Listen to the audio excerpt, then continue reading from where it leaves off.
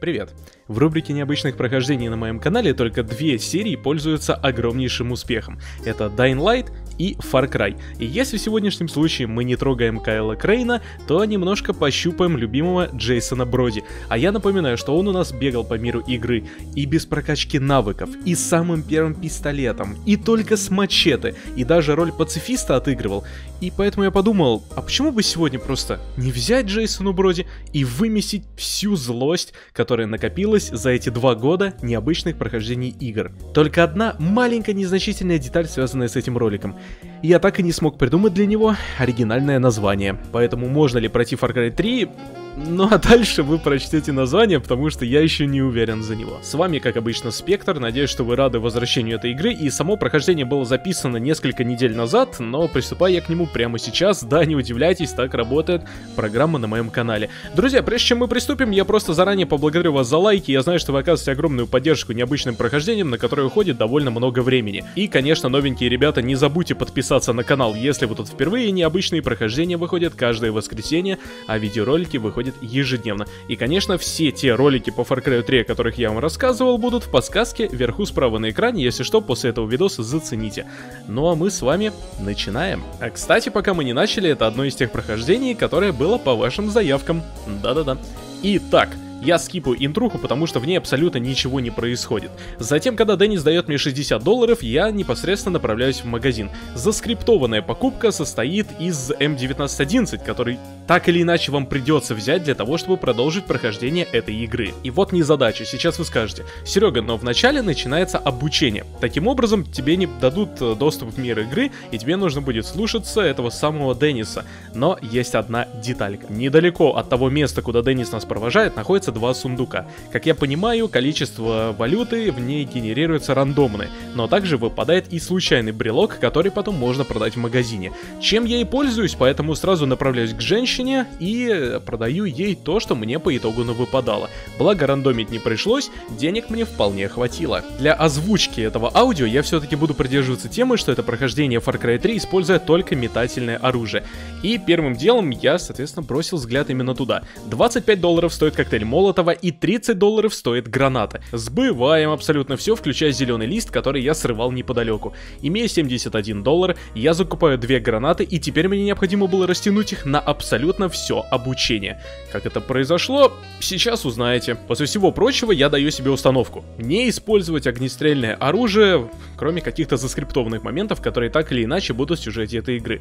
Поэтому я лезу на вышку, затем также лутаю сундуки, которые там находятся. Это все-таки моя будущая валюта. И затем, когда активирую ее, бегу на охоту. На охоте необходимо было просто срывать листья, а также добыть две кабаньих шкуры, так как никакие навыки Джейсон не прокачивает. Соответственно, мне нужно было растянуть две гранаты для того, чтобы убить только двух кабанов. Верите или нет, но мой скилл в Far Cry 3 э, пригодился. Одной гранатой я завалил двух кабанов и, соответственно, залутал шкуры. Таким образом, обучение по охоте прошлось вполне легко и просто. Не забываем и про сундуки, которые валяются здесь в регионе. Кстати, скажу на будущее, я не покупал карту с сундуками, а как же в итоге закупались боеприпасы, узнаете далее. После этого нас знакомят с крафтом, и мы с вами едем на захват первого аванпоста. Однако, перед этим после охоты. Можно сделать телепорт в деревню Аманаки. Пользуясь валютой, которую я налутал вследствие охоты, можно было спокойно закупить остатки. А именно, коктейли Молотова, С4 и мины. Насчет мин я, кстати, не был уверен, все-таки метательное не метательное оружие,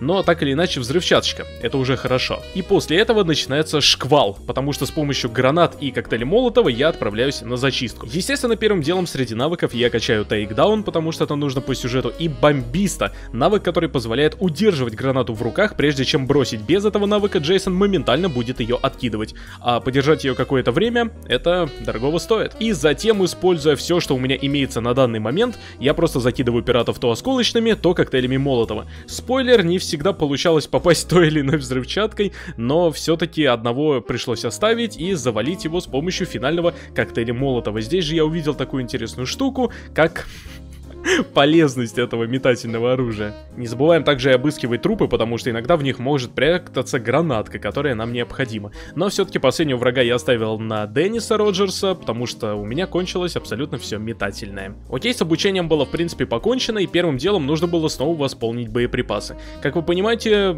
долго на этом уезжать я не смогу, поэтому первым, чем я занялся, конечно же, была охота. Для начала мне нужно было понять, э, сколько сумок вообще понадобится для того, чтобы держать как можно больше взрывчатки. Я остановился на первом тире, это пригодилось бы в самых первых заданиях, как вы понимаете. Поэтому около региона доктора Энхарта я стал охотиться на тех самых животных, чьи шкуры пригодятся для первого тира. Естественно, мне нужны были сумки для гранат и сумки для коктейлей Молотова. Это все вместе комбинируется с С4 и минами. Таким образом, необходимо было грейдить только по две сумки, и при этом убивать животных тоже нужно было с помощью осколочных гранат. Конечно, это не всегда получалось сделать с первого раза. Боже, какой позор. И этот человек проходил модификацию Die Hard. Да. Но накопив таким образом первый тир и еще раз закупившись в магазине доктора Эйнхарта, можно было продолжать сюжетное задание, а именно грибы, в которых абсолютно ничего не происходит. Итак, первая трудность с заданием Зов Медузы. Вообще она должна проходиться по стелсу, и как вы знаете, если вы агрите тревогу, то задание мгновенно проваливается. Но если вы смотрели мои ролики по третьему Far Cry, знаете слабости этой миссии. Во-первых, если вы успеете обыскать труп радиста, то он зачтется вам как контрольная точка. То есть не обязательно обязательно каждый раз убивать троих. Нужно это делать просто поочередно и постепенно. Пользуясь осколочными гранатами EC4, которых Джейсон держит в карманах уже в два раза больше, я стал подгадывать тайминги и стараться делать массовые убийства для того, чтобы охранники не услышали, когда прогремит следующий взрыв. Это все равно происходит с задержкой, и, как вы понимаете, их слух оставляет желать лучшего. Поэтому убиваю всех с помощью взрывчатки, обыскиваю трупы радистов и стараюсь экономить как можно больше главных боеприпасов. В данном случае речь, конечно же, идет про C4. Опустошив таким образом осколочные гранаты, я поднялся в рубку и затем стал ждать подкрепления пиратов, которые прибывают на лодках. Момент номер один. Тайминги. Необходимо взять С4 и кинуть ее на лодку в тот момент, когда пираты еще не успеют с нее сойти. Далее нужно было ловить тайминги только для множественных убийств. Сами понимаете, за снаряжение уже заплачено, поэтому нужно экономить, а свинтить задание мы не сможем, пока не убьем абсолютно всех. Обыскиваем трупы, но, к сожалению, это ни к чему не приводит, и последнее, чем стоит довольствоваться, это коктейлями Молотова. И вот момент такой. Если вы собираетесь перепройти третий Far Cry, не пользуйтесь этой штукой. Здесь нужно попасть ровно по туловищу противника для того, чтобы он отлетел. Таким образом, тир-1 сумок мне хватило, боеприпасов тоже. Хотя и пару гранат я потратил в молоко. И миссия прошлась абсолютно так же, как и рассчитано по сценарию. Следующим заданием нужно было провести диверсию на местный склад оружия или же арсенал. И тут я подумал, убивать всех противников сразу или нет? А какая разница? Джейсон из своего кармана кладет C4, и затем, соответственно, она подрывается по таймингу. То есть чисто теоретически теоретически все пираты, которые умирают в этой точке, нас абсолютно не интересуют. Это все сделал Джейсон и его волшебная взрывчатка. И в этот же момент я решил выполнить задание на лед на тюрьму. С учетом того, что я выбрал не самый максимальный уровень сложности, мне снова понадобился единственный смотритель, у которого находятся ключи. И вы, думаю, прекрасно понимаете, чем закончилась наша с ним встреча. Затем я решил никого не убивать и поберечь боеприпасы для следующего сегмента, когда мы спасаем Лизу. А теперь сделаем небольшой перерывчик и ваша любимая рубрика Топ-99 фактов, о которых ты не знал в Far Cry 3. Я закинул взрывчатку C4 в комнату, в которой, по идее, заскриптованно находится пират, оглушающий Джейсона. И вау! Прикиньте, там никого не оказалось. Более того, он не умер. Ну, в общем, да, ни хрена не заскриптованная сцена нисколько не выбивается из общего графика. А вот далее, в моменте с погони, произошел такой интересный момент. Несмотря на то, что все пираты самоубиваются, если вы их абсолютно полностью игнорируете во время погони, да, трафик в этой игре все-таки не бесконечный. Но в определенный момент Лиза застревает, и, в общем-то, нам предлагают с помощью М1911 разобраться с остатками пиратов. В этом случае я заметил интересный момент. Если крутишь колесиком мыши, то Джейсон перебирает всю взрывчатку, которая находится у него в кармане, которую я и старался сохранить. Однако, вам не дают ею воспользоваться, и в данном случае, как вы понимаете, заскриптованный момент, ничего с этим не поделаешь, поэтому убиваем пиратов, и Лиза таким образом спасена. Затем стандартное задание с Цитрой, плюсом мы находим Уиллиса Хантли, и вот тут передо мной встал как раз таки очень важный вопрос. Как я собираюсь пройти миссию с поджогом травки, если мне абсолютно не хватает снаряжения? Правильно, здесь в ход идет уже tier-3 сумки, которые я решил погрейдить. То есть следующие 40 минут я буквально бегал по регионам и охотился на тех животных, которые мне необходимы. Самым сложным по итогу оказался медведь, и это была, по-моему, последняя сумка для C4. Как вы понимаете, для того, чтобы разблокировать tier-4 сумку, необходимо какое-то редкое животное. А я не хотел проходить миллион квестов, пока бы не добрался до нужного, да? Притом, возможно, нужно проходить еще побочки какие-то, чтобы открыть задание с tier-4 животным. Ну, в общем, ладно, не заморачивайтесь, 40 минут прошли не напрасно. Таким образом, я заимел около 8 гранат в свой инвентарь, 8 коктейль Молотова, C4 и готов был отправиться на войну. Итак, вооружившись, я пошел в миссию «Осиное гнездо». Вопрос номер один. Серега, как планируешь действовать? Точно такой же план, как и в случае прохождения с первым пистолетом. Во-первых, на этом поле располагается бочка. Притом у каждого поля, если, соответственно, затриггерить взрыв, то можно сжечь, если память не изменяет, три поля из пяти. Уже на два других понадобится дополнительный огонь. Поэтому первым делом я вооружаюсь гранатами, поскольку С4 мне все-таки жалко, и бегаю по абсолютно всем плантациям, кидая эти гранатки в бочки, и затем смотрю, сколько полей по итогу будет сожжено. Несмотря на то, что количество противников здесь будет бесконечное, необходимо было наворачивать круги для того, чтобы они теряли Джейсона из виду. И как вы понимаете, откатываться тоже не стоит, хотя... О чем мы говорим? Это же третий Far Cry. Собственно, после того, как я взорвал абсолютно все бочки, прошло определенное количество времени, и я понял, что забыл про еще одну главную деталь. Это уничтожение баржи, которую нужно догнать в конце задания. Естественно, берем C4 и уничтожаем ее заранее, хотя, возможно, я воспользовался чем-то другим. Прошу прощения, этот футаж был записан почти месяц назад. Ну и так или иначе, остатки мы тратим исключительно на те поля, которые не удалось сжечь. Естественно, речь про коктейль Молотова. Кстати, не помню, вроде взрыва не тестировал, поэтому С4 у меня была в огромном количестве. Ну, в общем-то и все. Тир 3 шмоток вполне хватает, хотя, если честно, пришлось экономить во многих местах. Порой нужно было точно до пикселей определить место, где огонь разгорится больше, и, соответственно, ориентироваться уже от него, сколько придется погасить уже следующим коктейлем. Далее было задание еще интереснее, связанным с Ронго, и это, кстати, самый сложный квест, который выдался в данном прохождении. Суть в том, что по пацифисту мы знаем, Ронго у нас парень военный, несмотря на то, что выдерживает всего лишь два попадания, а Джейсон может выступать в роли танка. Но поверьте, у меня ушло около 10 попыток для того, чтобы понять концепцию прохождения этого задания. Мне действительно не хватало тир 3 снаряжения для того, чтобы пройти это задание. У меня постоянно заканчивались боеприпасы, и я не знал, что с этим делать.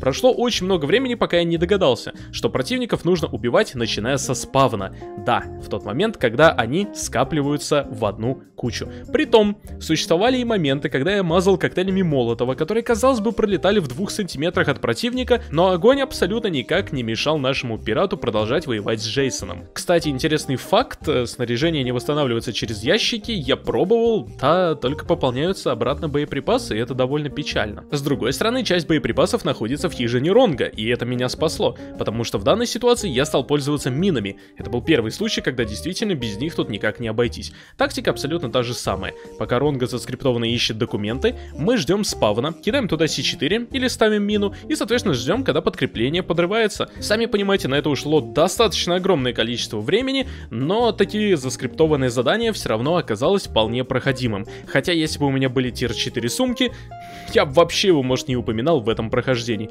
Вот вам интересный момент. Для будущих прохождений третьего Far Cry я точно буду грейдить сумки до самого максимума. Раскидываем еще немного взрывчатки для того, чтобы добраться до снайперской позиции и спасти нашего брата Оливера. В случае заскриптованной лодкой, кстати, ничего делать не нужно. Вертолет падает сам по себе. Главное, чтобы Джейсон просто перехилил весь входящий в него урон. Естественно, я полностью забиваю на стелс, потому что врагов собрать в одну кучу задача номер один. Это же и касается Джиггернаута, который выйдет на нас в последнюю очередь. Наверху я никого не убивал, взрывчатку необходимо было экономить, а множественные убийства это то, что требуется в этом прохождении. Думаю, рассказывать особо не о чем, с учетом того, что врагов можно было убивать и одной взрывчаткой на каждого, которой вполне бы хватило. Теперь поговорим по поводу ножика. Суммарно ножик добывается легко и просто, но перед каждым новым таким заданием необходимо постоянно посещать магазин.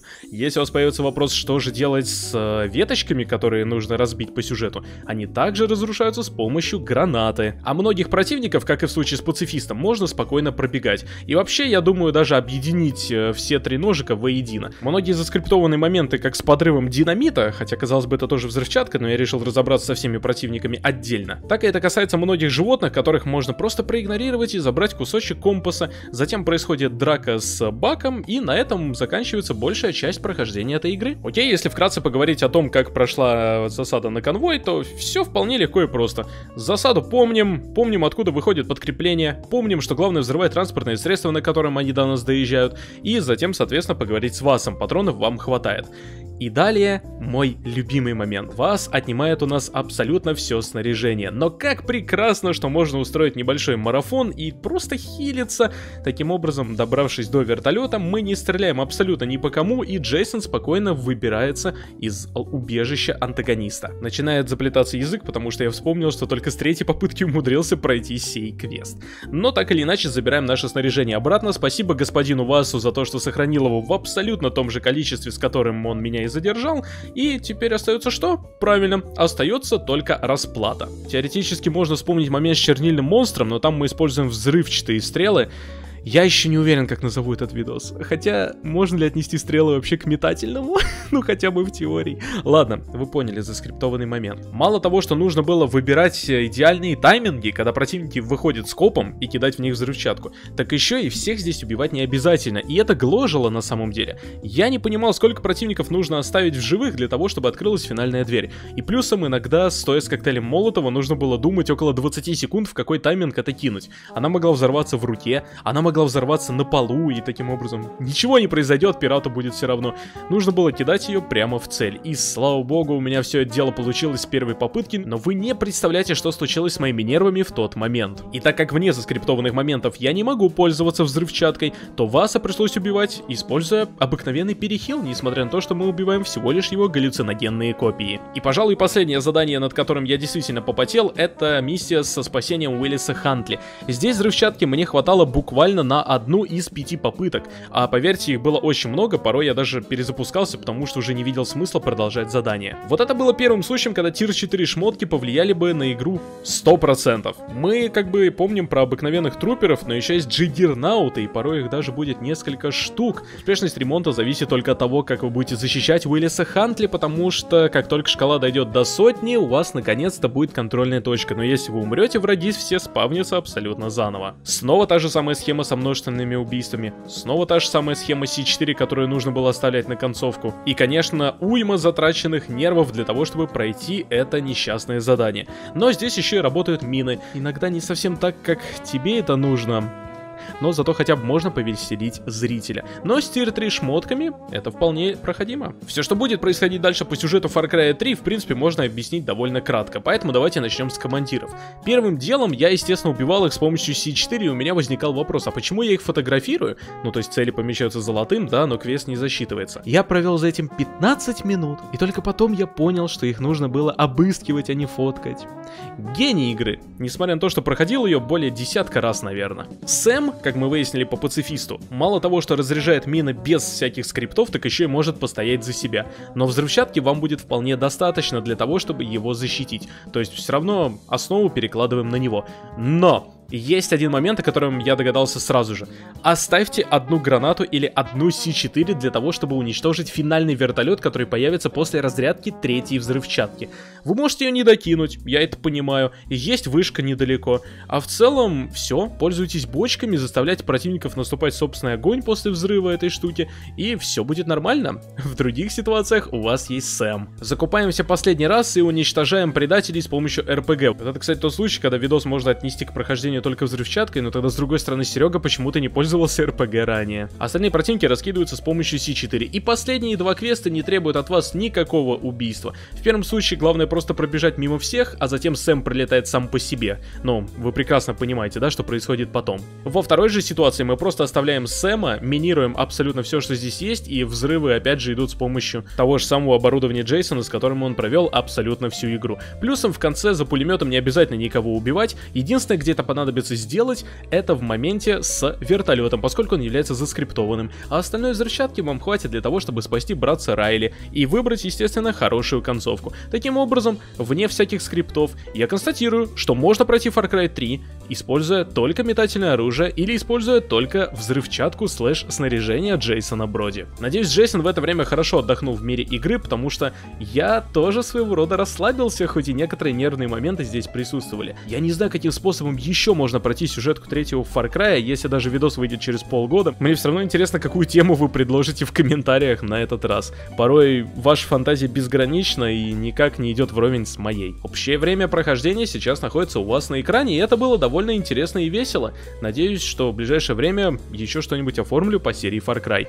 Ну а с вами был Спектр, надеюсь вам понравился данный видеоролик. Если это так, оценивайте его лайком, подписывайтесь на канал, чтобы не пропустить другие необычные прохождения, плейлист с ними внизу слева на экране и щелкайте какие-нибудь другие ролики, которые сейчас высветятся в конечных заставках. Подписывайтесь, если вы тут впервые, и ждите следующего ролика. Всем удачи, не болейте и пока-пока.